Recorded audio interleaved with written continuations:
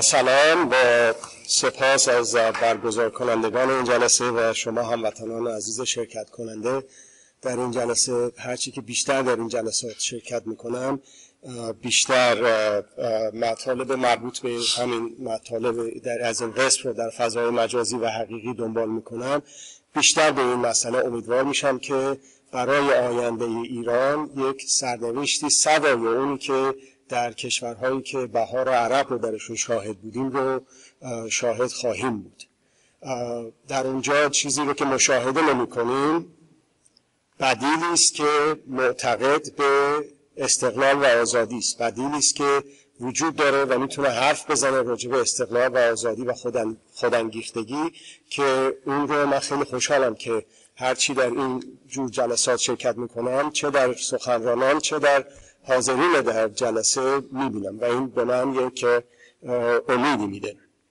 بیشتر مطمئن میشم که اگر که ما امکانات و تلاش رو یه خود دیگه همسو بکنیم و پشت به پشت هم بدیم می‌تونیم برای استقرار استمرار مردم سالمی در کشورمون نقش آفرین باشیم و حتی بعد با سیاست های خشونت زدا سوای قدرت های داخلی و خارجی و در نیامیختن به اونها حتی در منطقه هم تأثیر گذار باشیم.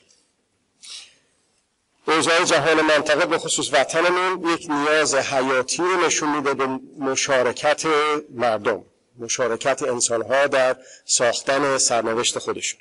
عنوان عرایز من هستش تعادل قوای داخلی و خارجی در اونچه که مربوط به تک تک ما انسان ها میشه. در اونچه که تک تک ما انسان ها درش می‌تونیم نقش داشته باشیم.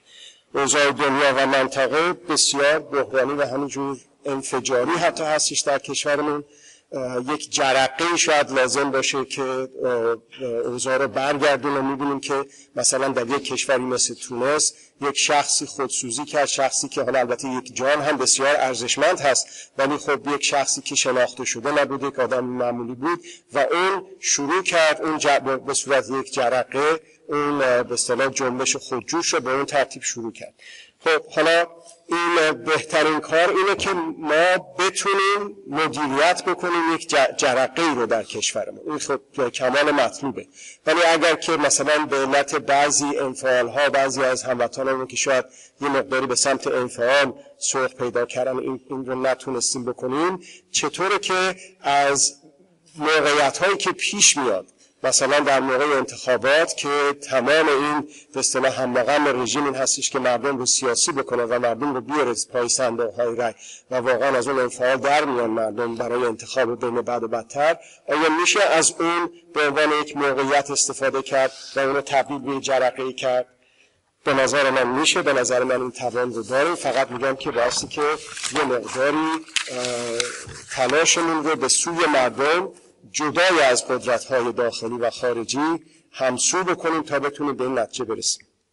یادآوری می‌کنم از وجود تشابهات بسیار حیرت انگیزی که رفتارشناسی جامعه استبداد زده داره با رفتارشناسی و روانشناسی یک زندانی سیاسی شکسته شده زندانی سیاسی شکسته شده. البته تشخیص و درمان های پیشنهادیش هم به صورت مبسوط جای دیگه عرض کردم که علاقه باشین تو سایت خود من می‌تونید پیدا بکنید بسیار شگفت انگیز هستش که اون کاری که این سیستم حاکم می‌کنه بر جامعه بر ملت ایران دقیقا اگه نه به صلاح به شکل دیگری اون سیستمی که حاکم بر زندان ها هستش به زندانیان سیاسی انجام میده. و به علت این تمهیداتی است که این رژیم به این ترتیب تونسته انجام بده متاسفانه جامعه یا بعضی از افراد جامعه ما به سمت و سوی انفعال و بیغنی حرکت کردن. خب ولی حتی این رژیم رژیم جمهوری اسلامی به قول خودشون رژیم ولایت مطلقه فقیه هم بدون پشتوانه مردمی بدون اینه که مشروعیت رو از مردم بگیره نمی‌تونه سر پا بمونه. چیکار می‌کنه؟ سر موقع رأیگیری دستگاه تبلیغاتیشو به کار می‌بره و مردم رو بین یک بد و بدتری قرار میده. درست همین کاری که به زندانی سیاسی می‌کنه. زندانی سیاسی هم انقدر شکنجه میده یک پاسدار یک بازجوی بد هست و یک بازجوی بدتر هست. و اون بازجوی بدتر به جایی میرسونه اون زندانی سیاسی رو که زندانی خودشو راحتتر می‌دونه که گوش به فرمان ارز کنم که بازجوی بد بده نسبت بازجوی بدتر و تسلیم خواسته های اون بشه.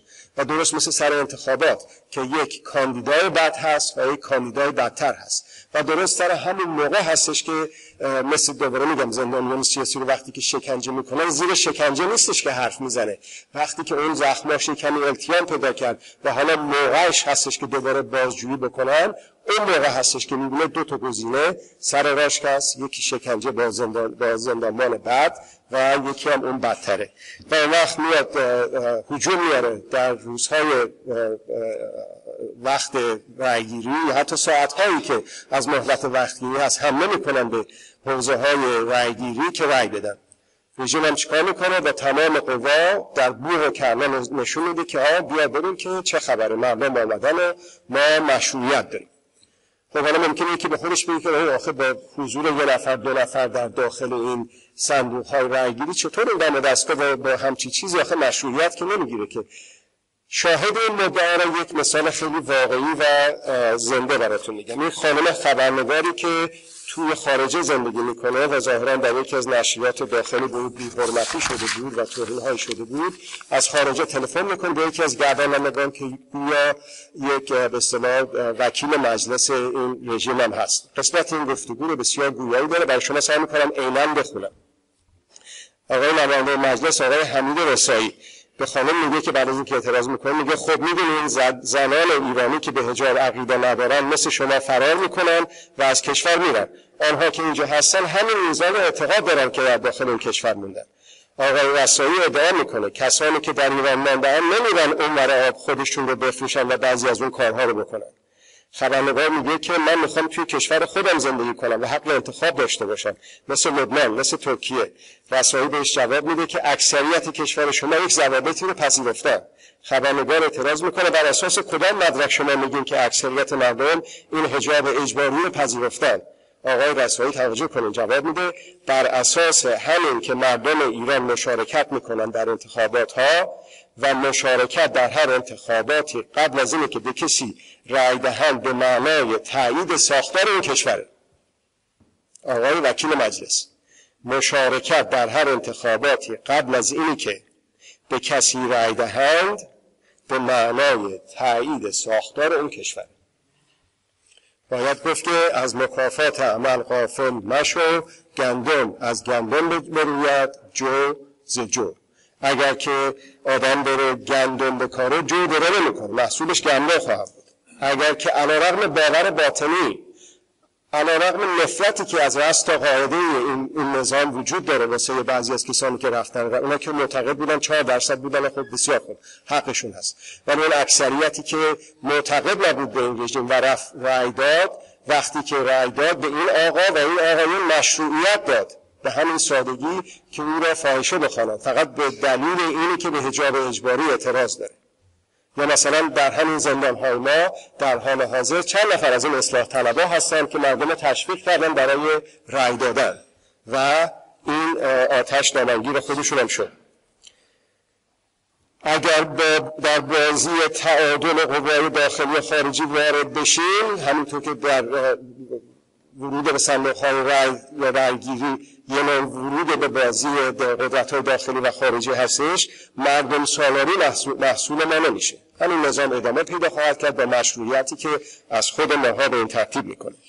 ولی اگر که از اون بگذاریم و سوای توازن قوا تعادل قوای داخلی و خارجی مردم سالاری یک هدف هستش و از اون مهمتر مردم سالاری یک روش مردم سالاری حقوقمندی یک روش هستش. اگر که این روش رو اتخاذ بکنیم هستش که در این صورت به کمک همدیگه می‌تونیم از این رژیم گذار بکنیم و با کار کردن و با پرکاری کردن می‌تونیم که یک آینده بهتری برای خودمون به اصطلاح رقم بزنیم. پس منفعل من و فقط به فرمان آقای خمینی هر چهار سال بار بریم اونجا رای بدیم. این مسلما این توهین ها و اون توبیخ ها و اون داغ برفش رو همراه خواهد داشت. باید همیشه عمل کنیم. نباید منفعل باشیم باید همیشه عمل کنیم. خب حالا عمل کنیم بسیار خوب. عمل کنیم کجا عمل کنیم؟ جای عمل حاصل سخن من همینجا خدمتتون عرض می‌کنم. جای عمل دو جا بیشتر نیست. دو جاست. سه جا نیست. یه جام هست. محل عمل دو جاست. یا از طریق مردم یا مردمیه یا از طریق قدرت و از تعادل قدرت های داخلی و خارجی.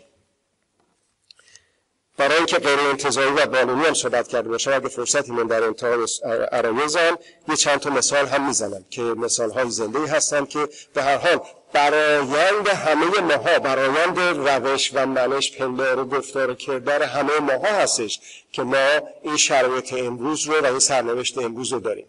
و در نتیجه اگر که خودمون کار نکنیم اگر که خودمون عوض نشیم و اگر که نقش نداشته باشیم بنز کافی و بیشتر از این که تا داشتیم نقش پیدا بکنیم در ساختن دیگران در هسته های مختلف فعال نشیم همین آش خواهد بود و همین کاسه. این خونده از کجا برن؟ از اینجا بهتر. اگر که ما به خودمون باور داشته باشیم و تک تک ما تک تک ما ببینیم که چی کار از دستمون ساخته است. همونطور که عرض کردم پیشنهادی که هست در هسته های مختلف دو نفر پنج نفر ده نفر هشت نفر هم فکر هم سر هم, هم سلیقه می‌تونیم کارهای مختلف رو در جهت مردم سالاری با باور به استقلال آزادی با عدم ورود به تعادل قوای داخلی و خارجی مدیریت کنیم. همیشه باید به داشته باشیم برای این کار همیشه باید به داشته باشیم که هیچ وقت به هیچ شکل در هیچ زمان به هیچ نوعی ما عملمون کنشمون از طریق قدرت نباشه. قدرت داخلی و یا قدرت خارجی. حالا که به این نتیجه واضح رسیدیم که باید کاری بکنیم باید از هر کدوم از, از ما از خودمون سوال بکنیم. خیلی خوب. بسیار. همه همه همه ماها همینایی که هستیم. از کره مریخ نمیارن که کشورمون رو درست بکنن. از خودمون باید درست سوال بکنیم که چه کاری از دست من برمیاد. اینی که بگیم به خودمون یا به همدیگه جواب بدیم. بابا دست ما که کاری بر نمیاد. این یک دروغ بسیار بزرگی است که به خودمون میگیم و به دیگران. پذیرفته نیست. اگر که در روابط قوا قوای داخلی و خارجی وارد نشیم هر کار بهتر از نکردنشه بابا دو تا ایمیل که می‌تونیم بزنیم که. الان شما روز شنبه است. دارین هوای خوب برای چی آمدین اینجا؟ می‌تونستیم بسیار کارهای دیگه بکنید ولی یک چیزی در سر داشتیم که شما رو آورده اینجا. چرا نتونیم این, این صحبت رو اگر شما مورد علاقه شما بوده پخش بکنیم بیشتر؟ چرا صدای زندانیان سیاسی نباشیم؟ چرا همپای اون کسی که میره جلوی کانون وکلا و اعتراض می‌کنه به عدم حق کار کردنش نباشیم؟ کما اینکه هموطنان ما بودن. خب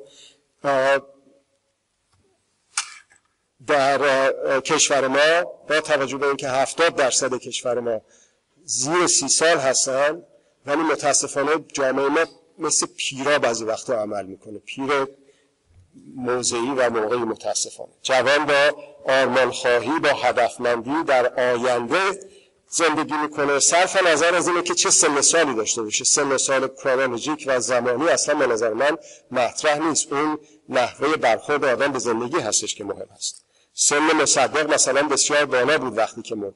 ولی مصدق الان زنده است و جوانه.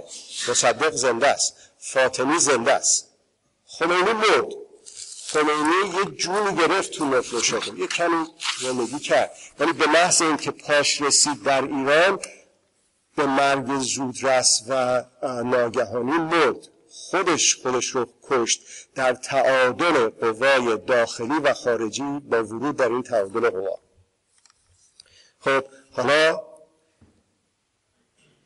افکار عمومی ما ایرانی چه نظری داره نسبت به آقای خمینی و افکار عمومی؟ نه تنها ایرانی منطقه و بلکه دنیا راجب مصدق چی فکر می‌کنه؟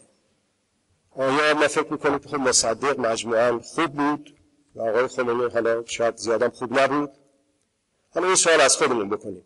اگر که اون آقای مصدق رو برداریم از اون موقعیت به اصطلاح سیاسی و اجتماعی که داشت بیاریم به صورت یک آدم عادی و بغل دست ما بشینه در این کنش های معمول روزانه ما ببینیم چیکار می‌کنه. این برای آقای خمینی نشسته که ایشون هم در سطح یک انسان معمولی بتونه به اصطلاح عمل بکنه در شرایط روزمره. در شرایط روزمره. خب حالا خرداد 1392 با باور به موازنه عدمی آیا آقای مصدق می‌رفت رأی می‌داد یا اینکه تشویق می‌کرد بقیه رو که مثل خودش نرن رأی بدن و تحریم بکنن انتخابات رو؟ تحریم می‌کرد وارد موازنه قوا شدن قدرت های داخلی و خارجی. از اون وسیله درست بکنه قدرت برای ارز کنم که توازن قوا و برعکس آقای مثلا خمینی اگر که به عنوان یک فرد عادی قرار بود اونجا عمل می‌کرد چیکار می‌کرد؟ آیا مثلا مثل اون آقایی که نگهدار رژیم بوده حدود 35 سال می‌رفت در خط سفارت ایران و با بدون هیچ خجالتی رأی می‌داد؟ یا اینکه نه مثل اون یکی با خجالت می‌رفت توی دماوند رأی می‌داد؟ به هر حال این تصمیم ماست که مصدق رو اگر خوبه ببینیم ما چی کار بکنیم که مثل او بشیم؟ و اگر که از خمینی انتقاد و اعتراض داریم چیکار بکنیم که مثل اون نشیم خب حالا یک مثال های زندگی میارم. در این پنج دقیقه یا چهار دقیقه که از وقت من مونده اینه که در هر تصمیمی در هر کنشی خودمون رو بررسی بکنیم که آیا هدف و شاید مهمتر از هدف وسیله ای که در پندار و گفتار و کردار ما هست اینو در جانب مردم و استقلال آزادی هست. اینا و اینکه نه میل داره و سوق داره به سمت قدرت قدرت های داخلی و خارجی. و اون وقت هر کوچکترین کنشمون معنا پیدا می‌کنه در روابط قوا.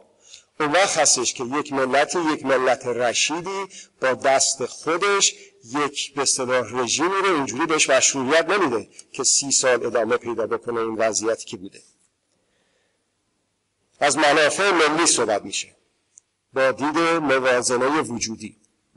از حقوق ملی صحبت میشه با دید موازنه عدمی وقتی که از این دو تا دید متفاوت نگاه بکنیم اون تفاهم نامه یا قرارداد که حالا بعضی ها گفتن تسلیم نامه به نظر من اقرار نامه به نظر من ارز کنم که اعتراف نامه چرا اعتراف نامه برای اینکه اعتراف کرد. اون کسانی که از اون اول می‌گفتن که آقا نکن این کارو جمعش کن از اول صاف و ساده بیا نشون بده. و وارد توازن قوا نشد بهانه ندو ندو به دست قدرتمندان دنیا.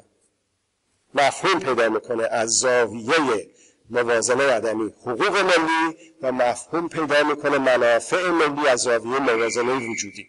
در مقابل منفعت هر منفعت یک ضرری هست. یه بند دارن اینا به هم دیگه کش و دارن که منفعت اون بیشتر بشه ضرر اون یکی کمتر بشه. ولی وقتی که منافع رو می‌ذاریم کنار و حقوق ملی رو باش صحبت می‌کنیم اون وقت حقوق ملی ایرانیان با حقوق ملی آمریکاییان با اروپاییان و حتی اسرائیلی ها هم همگون میشه همزم همسو میشه. مثال بعدی انقلاب یا اصلاح. اینه که اجازه بدیم که در زمین تعادل قدرت های داخلی و خارجی ما رو بازی بدن که برچسبی که به کار ما می‌خوره چی چیه؟ این اصلاح طلبه یا این انقلاب این خشن این خشونت طلبه یا نه این تحول طلبه. اصلا کاری نداشته باشیم به اسمش. اجازه ندیم ما در چارچوب اون چیزایی که می‌خوام زندانیمون بکنه بر اساس موازنه عدمی بر اساس اصالت استقلال و آزادی با همسویی با خشونت زدایی کار بکنیم و کار بکنیم و پرکاری بکنیم. هدف رو مردم سالاری و وسیله رو مردم سالاری بکنیم. اون وقت دیگه انقلاب و اصلاح بازی با این کلمات رو به کسی بهش اجازه نمیدیم. دشمن و دشمن من دوست منه. موازنه وجودی چیزی که الان در سوریه و ارز کنم که عراق می‌بینیم.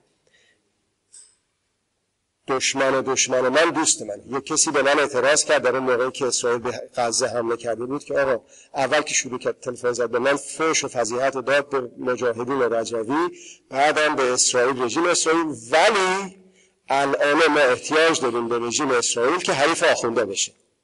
گفتم آقا محترم شما به فوش دادن به مسئول رجوی شروع کردی. یاد باشه که اونم با دشمن دشمن من دوست بود. ولی با در موازنه عدمی با همه دوسته. با همه کسانی که در راه موازنه یادم با دید موازنه یادم در راه ساختن در راه مردم سالاری نه در راه زور سالاری قدم برمیدارند. با اصالت آزادی و استقلال.